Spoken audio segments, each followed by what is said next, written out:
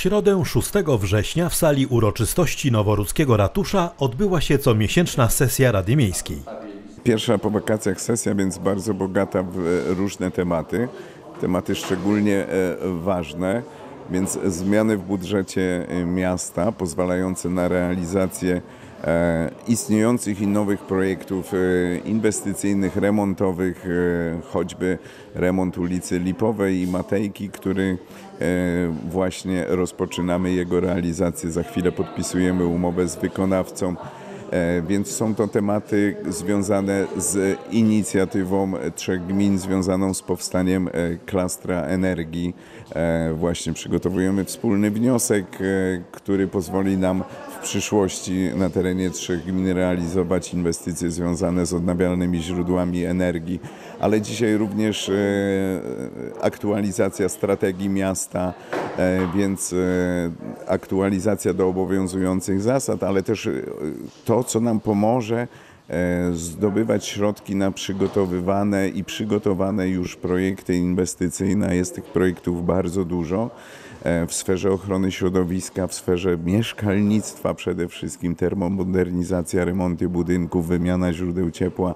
Są to projekty, które właśnie e, są wdrażane i będą uruchamiane w przyszłym roku o wartości kilkudziesięciu milionów złotych, więc e, bardzo ważna sesja, bardzo ważne wprowadzenia wielu zadań.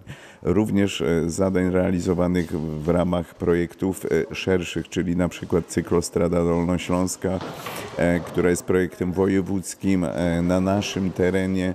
Również realizujemy pewien odcinek przebiegu cyklostrady dolnośląskiej, tak zwanej trasy sudeckiej, więc dzisiaj też porozumienie z województwem dolnośląskim w sprawie przygotowania dokumentacji na, na realizację tego zadania. Więc bardzo dużo ciekawych i ważnych rzeczy dla miasta, dla mieszkańców przede wszystkim e, na dzisiejszej sesji. Miasto musi ponieść duże opłaty i taką dość dużą kwotą to są opłaty za noworudzkich pensjonariuszy w domach pomocy społecznej. To jest kwota 1 700 tysięcy.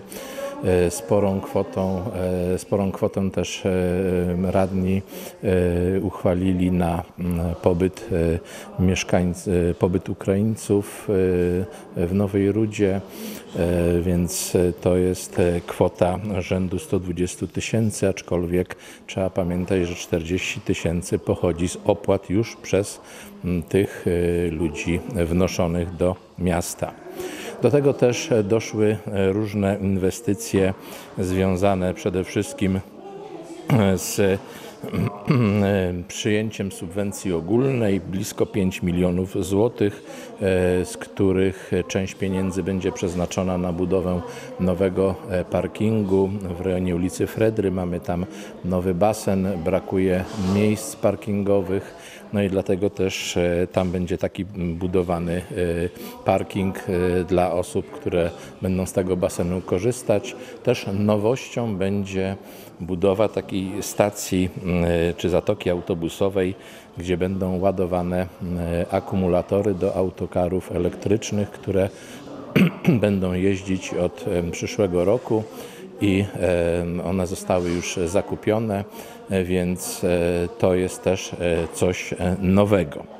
Do tego też środki na remont ulic, czyli taką ważną ulicą będzie ulica Lipowa, będzie plac Jana Matejki, więc te zaczynamy remonty w górnych, w tak zwanej górnej części Nowej Rudy, potem przyjdzie kolej na ulice następne.